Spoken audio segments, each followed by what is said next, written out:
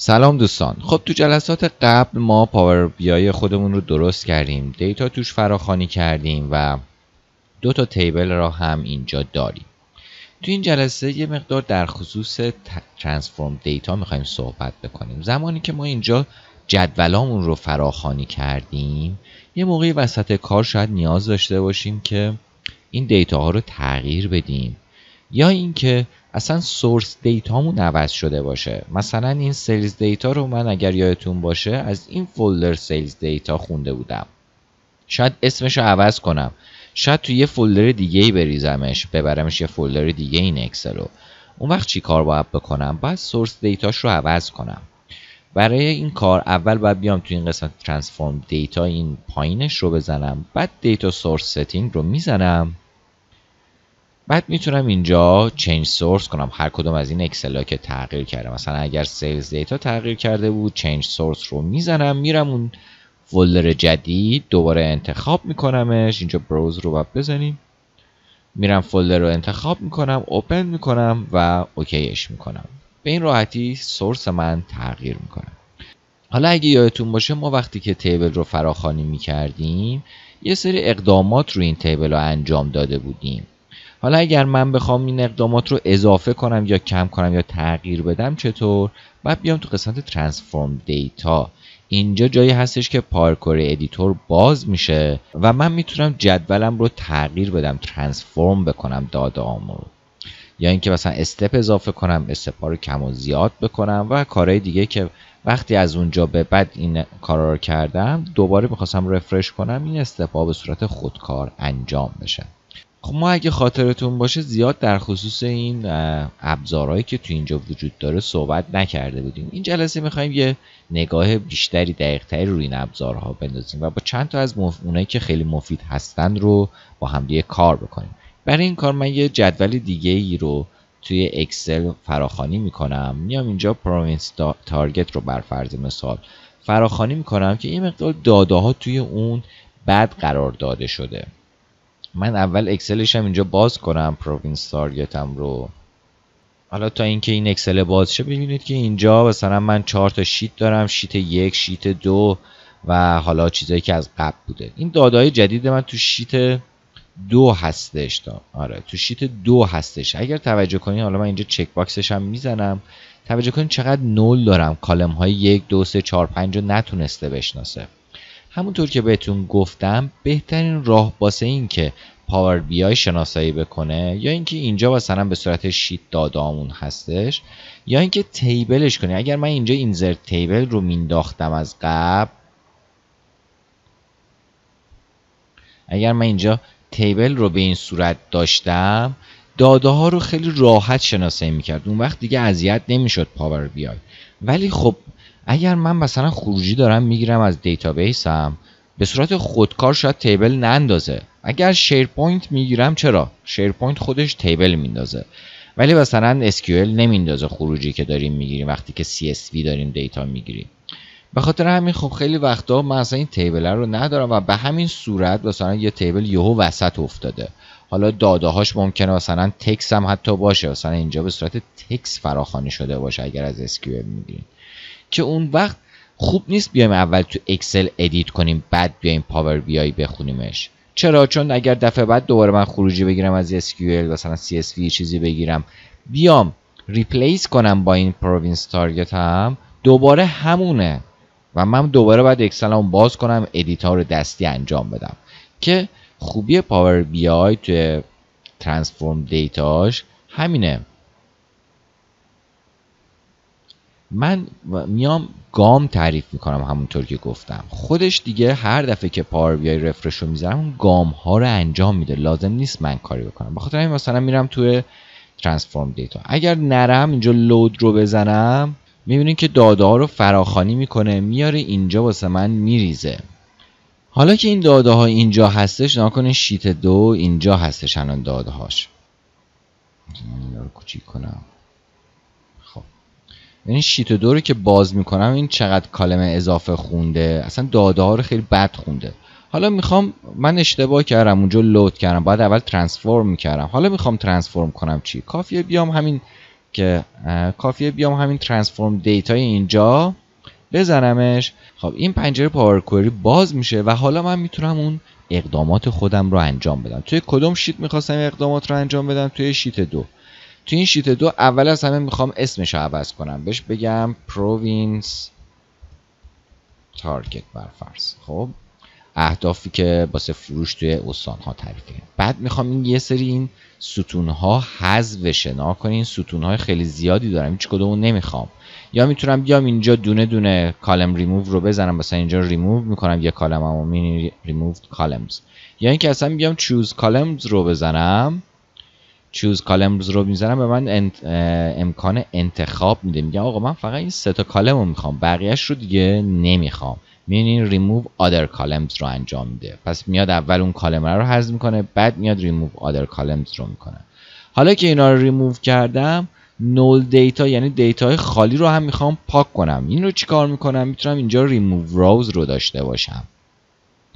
و اینجا ریموو بلانک روز رو بکنم. ببینید یه توجهی بکنید. تو اون اکسلی که باز کرده بودیم این table من وسط sheet بوده.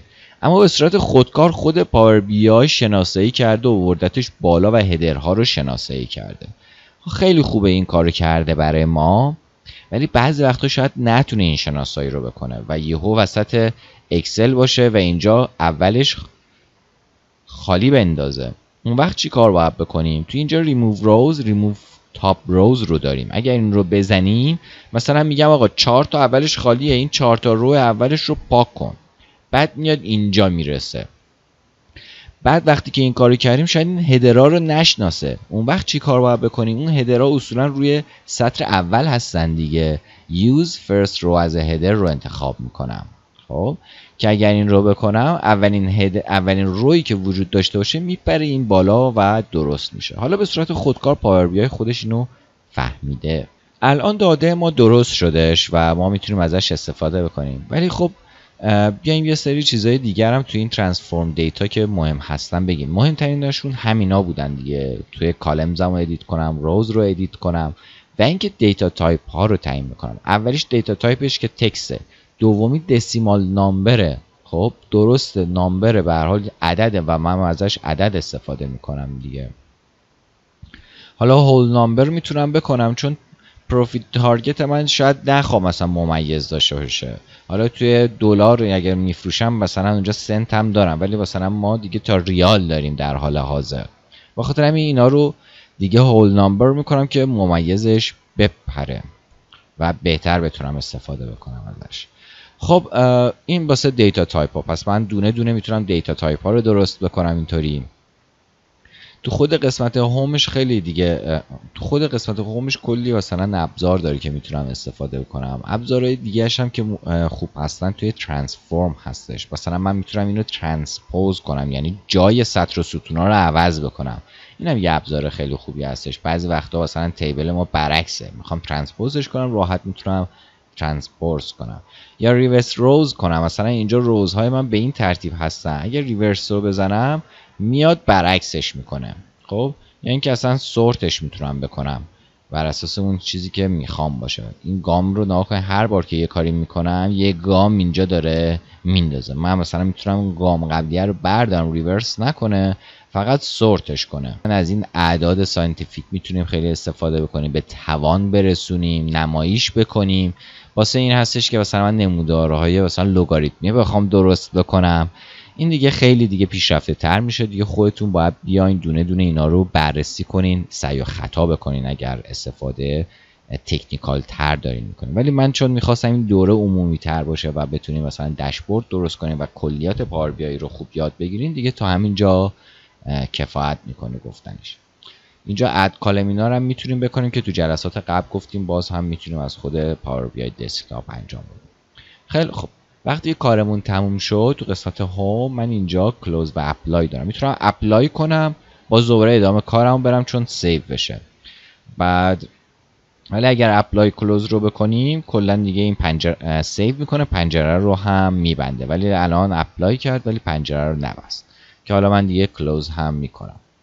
خب این میشه نحوه edit کردنش. الان من یه جدول خوندم اینجا به نام province target و این جدول من اگر بیام تو قسمت مدل من می‌بینی relation ننداخته. بعضی وقتا خودکار پاور بی relation ها رو شناسایی می‌کنه که بهتر اصلا بیاین حذفش کنین و خودتون بندازین چون خیلی وقتا اشتباه میندازه. ولی اگر درست فهمید که خیلی هم عالی درست فهمیده. الان province من اینجا یکتا هستش و به عنوان key می‌تونه شناسایی بشه؟ به عنوان کلید می‌تونه شناسایی بشه؟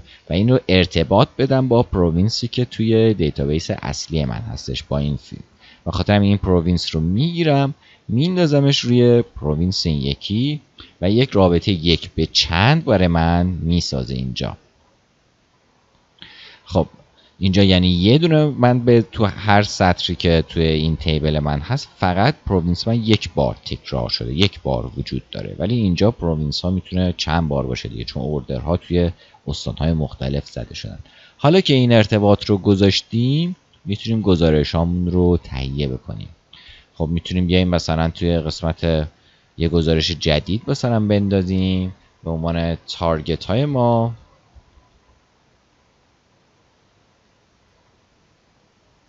خب حالا من می‌خوام مثلا target ها تو هر province رو با مقداری که فروش کردم مقایسه کنم. اینجا نقشه به صورت پیش فرض میندازه ولی من نقشه نمی‌خوام چون می‌خوام مقایسه کنم. مثلا از نمودار مستطیلی در حال حاضر استفاده می‌کنم. این نمودار مستطیلی رو میندازم. مقدار تارگتم رو هم سلکت می‌کنم که بندازم توی values. توی values کانت کرده من اینجا سامیشن رو میندازم. یعنی مقدار تارگت من تو هر استان هستش. حالا می‌خوام این رو مقایسه کنم با مقداری که سود واقعی بوده و میام اینجا پروفیت رو میندازم. البته پروفیت رو باید نه اینجا مقدار فروشم بوده باید با پرایس مقایسه کنم. خب اینطوری بهتر شد. الان مقدار فروش من بوده جمع فروش من تارگتی که داشتم هستش و می‌تونم مقایسه کنم. حالا بیایم حالا بیایم مثلا یه نمودار دیگه هم ببینیم. می‌تونیم این نمودار رو هم انتخاب بکنیم. بعد مقدار price رو بندازیم توی line. اینجا می‌تونیم target رو با مقدار price من یا مقدار فروش هم بهتر مقایسه کنم که چقدر هستش. یا اینکه مثلا نوعش رو تغییر بدم. از نمودار gauge هم می‌تونیم استفاده بکنیم. خب target value میشه این profit target من. price منم میشه value من. خب الان اینجا این target رو می‌خواستم بزن حالا خوبه که مثلا اینجا یه دونه slicer هم بندازم.